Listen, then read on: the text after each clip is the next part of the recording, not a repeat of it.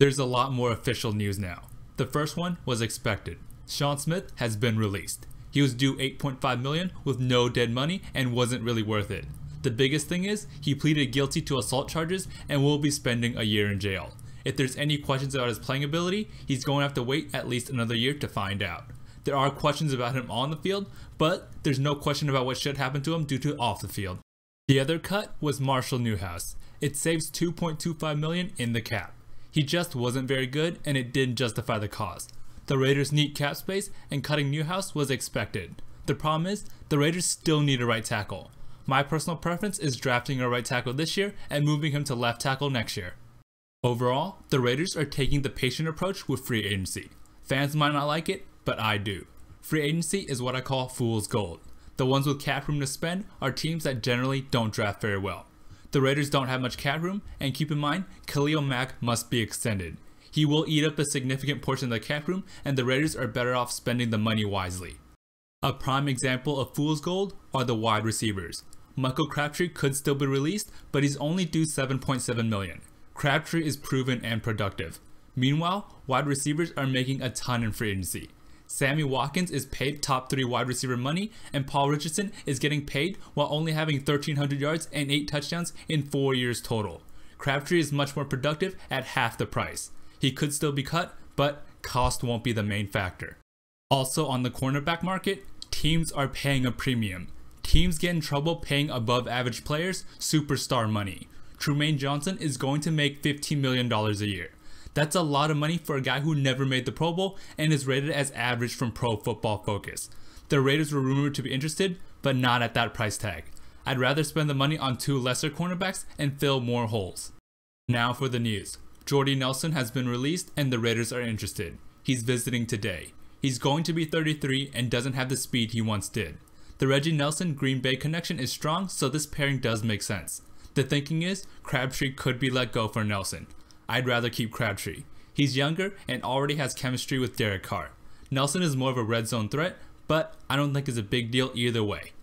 As for free agency, the Raiders only have three signings so far. Derek Carrier has been signed to a three year deal. He will come cheap and essentially does what Lee Smith did. Carrier is more of a blocking tight end and fills the need in Gruden's system. Carrier is less of a blocker and more of a receiver than Smith, but that's not really saying much. Essentially, the Raiders got a younger, more athletic blocking tight end. This came as a surprise, but Lee Smith has been re-signed by the Raiders.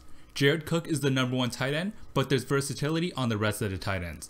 They can all block and are okay pass catchers. Smith is sneaky enough as a receiver that defenses still have to honor it.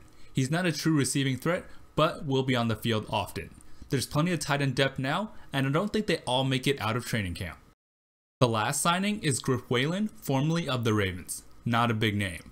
However, he could take the punt return duties, and he's shown he can be pretty good at it. More importantly, he doesn't fumble like Jalen Richard did last year. Also, he fits the mold of a slot receiver more than Seth Roberts. Whalen is more of a short, quick area receiver. I doubt he seriously contends for the number 3 spot though. Anything more than a punt returner would be a cherry on top. The first few days of free agency are days I would rather avoid players. They get paid a premium and few players are worth the cost in the long run. Keep in mind, the Raiders signed Reggie Nelson, Sean Smith, and Bruce Irvin all in one free agency period. Yet, the best signing was Crabtree on a one-year prove-it deal well past the beginning of free agency. Let's look at these type of players that the Raiders could sign. While the top cornerbacks are getting paid handsomely, there's still some cornerbacks available. The biggest fish is Rashaan Melvin. He's 6'2 and one of the better cornerbacks in the NFL the last few years, and is only 28. The Raiders are reportedly interested, and I thought he would get a big deal like Trumaine Johnson. Since he's made it past the top free agents, now is the time for the Raiders to get him. Speaking of cornerbacks, the Raiders' own TJ Carrie is signing with the Browns. Cleveland has a lot of cap space, and I figured Carrie would follow the money. He signed a 4-year, $31 million deal, and that's a high price tag for a solid slot cornerback. The Browns have a ton of cap space and need to spend it. I thought the Raiders would bring him back, but not at that price. Defensive tackle is another area of need, and the Raiders are interested in 33 year old Tom Johnson. He's not splashy and will be a short term fix to the problem. I like the Raiders to try and get one of the bigger names out there on the market still.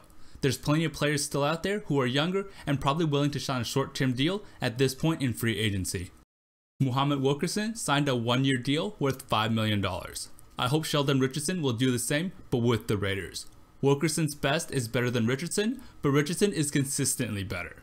He fills a massive need and is extremely productive. There are plenty of options like Daquan Jones and Dontari Poe who will likely take cheaper deals now that free agency rush is over. The best and most proven defensive tackle is going to be Ndamukong Suh. He signed two massive contracts already and is still very disruptive. The problem is the cost wasn't worth it for the Dolphins. He's still very productive, but is 31 and is on the back half of his career. I'm guessing he's going to look for one last big payday. If he fails to find it and wants a short-term deal, then he will be by far the best option for the Raiders. The Raiders' own Denico Autry signed a three-year deal worth 17.8 million with 6.5 million guaranteed. He's a solid pass rusher who the Raiders tried to replace but never did. He's bad against the run, but does get pressure on the quarterback. The contract he was given was pretty fair, and my guess is the Raiders didn't want to re-sign him. My personal top free agent is NaVorro Bowman. He's seeing what's out there on the open market, and there doesn't seem to be much interest. The Raiders want him back, but at their price tag. Bowman is a leader and made a huge difference once he signed with Oakland. The Raiders should try and sign him now. If they had tried to sign him the first few days of free agency, then the deal would be much more expensive than right now. In teams in the division, the Broncos signed Case Keenum. He had an amazing year last year, but the Vikings were pretty cold on him overall. He's been below average most of his career outside of one year. The Broncos are hoping he can keep it going. Kirk Cousins was the player they wanted, but the Broncos don't have much cap space. I personally am hoping Keenum plays like he did with the Rams. The Broncos are trading away Trevor Siemian. He's a proven commodity at this point and will be a backup quarterback for a long time. I have no doubt the Raiders would have lost to the Broncos twice had Siemian been under center the second time. Now with Case Keenum, the Broncos are hedging a lot on one guy with one year of production. The weirdest signing in the division though is Sammy Watkins with the Chiefs. They're paying him $16 million a year, which is good enough for third best receiver in the league. His production is a whole other question. There's no doubting his talent, but he's too inconsistent for that kind of money. The core of Kareem Hunt, Tyreek Hill, Travis Kelce, and Sammy Watkins is scary though. Patrick Mahomes will have everything he needs for his first year as a starter. In sad news, Sebastian Janikowski is visiting the Chargers. It makes sense since the Chargers need kicking help, and Janikowski is one of the best and most consistent. However, it's just weird to say Los Angeles Chargers kicker Sebastian Janikowski. It just doesn't feel right. Selfishly, I just want him to sign with another team. I wish him the best, but not with the Chargers. Overall, the Raiders stayed away from the top free agents at insane prices. Would the Raiders have been better if they signed the top players? Absolutely. However, the price must justify the production. Top teams generally stay away from the big names in free agency. Outside of Stephon Gilmore, the Patriots haven't signed a big name in years. Now that it's a few days into free agency is when you fill the holes. The Raiders should see who's available and pounce. The Raiders can get players where the production outmatches the deal. Thank you for watching. If you made it this far into the video, please consider subscribing. I'm trying to get to a thousand subscribers so I can get my YouTube partnership back. Like the video if you enjoyed, or thumbs down if you didn't really like it. Thanks for watching again, guys.